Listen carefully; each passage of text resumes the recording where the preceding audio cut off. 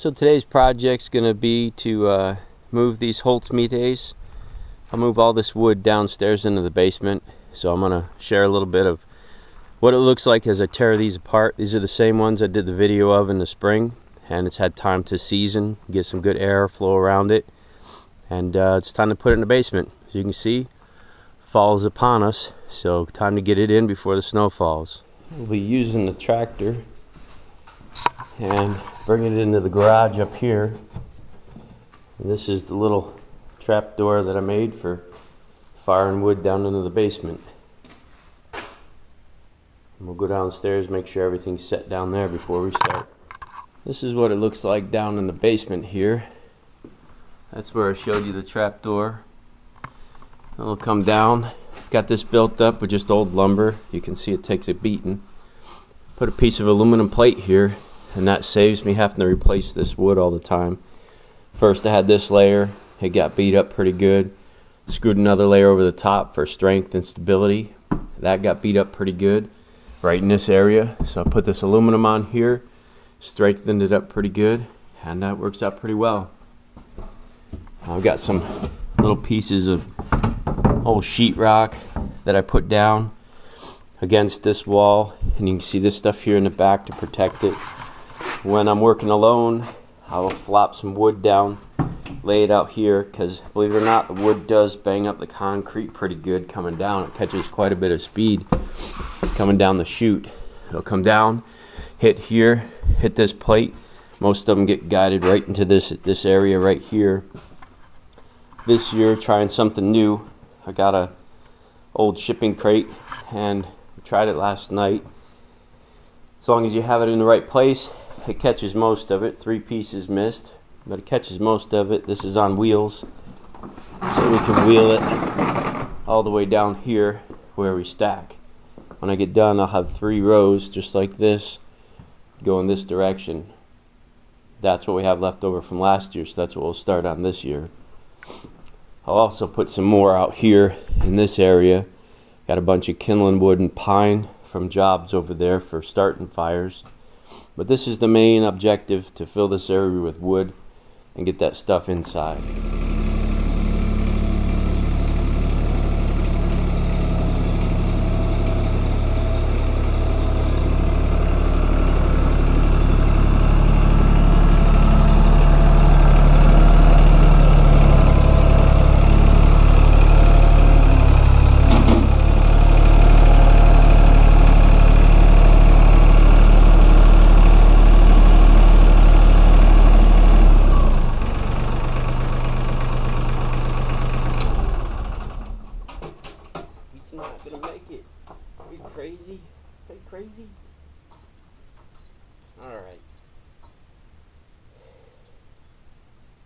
We go to work now? Yeah? Let's go to work.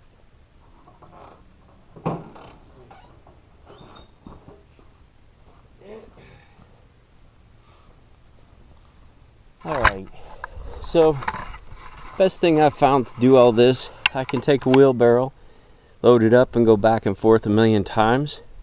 But I made this uh, quite a while ago for moving wood and actually I'm going to tighten these up down here so it's not swinging so much before I start.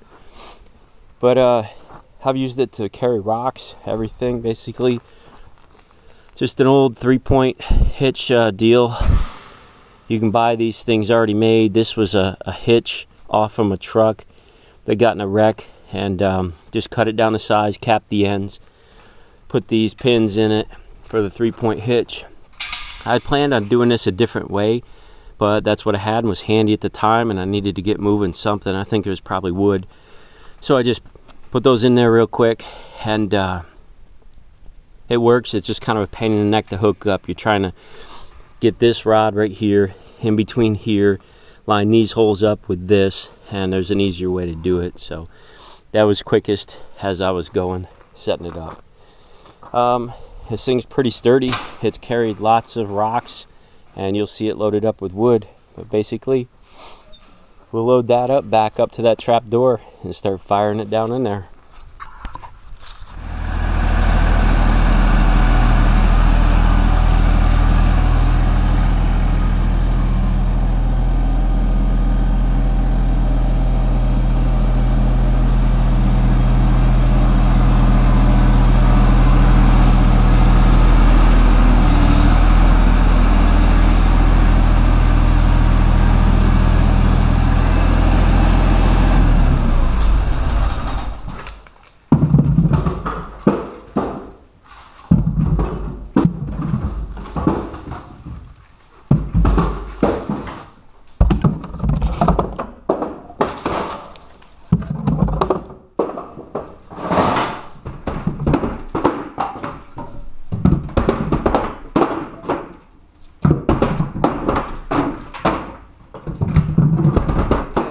Seen the first uh, first load come down, you probably got the gist of that.